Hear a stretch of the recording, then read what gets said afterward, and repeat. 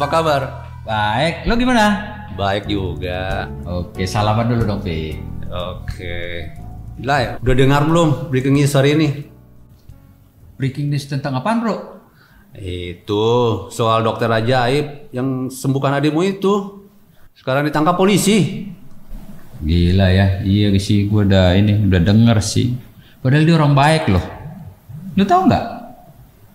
Anaknya teman kita Bung Novi yang sakitnya udah menahun disembuhkan loh, gratis nggak bayar.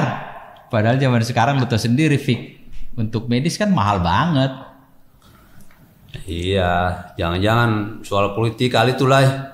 Kabarnya sehari-hari si dokter itu berkeliling mengajar dan ucapan-ucapannya cukup heboh di masyarakat. Banyak yang suka dengar ajarannya. Makanya dia lebih viral dipanggil guru. Kau hitung aja berapa banyak tuh. Mungkin sekitar lima ribuan kali ya. Orang-orang yang kemarin disembuhkan dan dikasih makan karena seharian ngikutin dia. Iya benar juga. Banyak sih yang disembuhkan sama dia. Sekarang dia viral loh. Udah masuk ke kota-kota.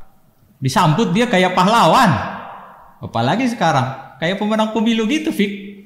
Wah, kalau kayak gitu udah lain ceritanya. Sudah urusan politik lah itu. Sebab tuduhan ajaran sesat ini biasanya menjadi ranah ancaman bagi pejabat dan pemuka agama lah ya. Selesai dah hidupnya. Maksud lo Yesus? Iya Yesus.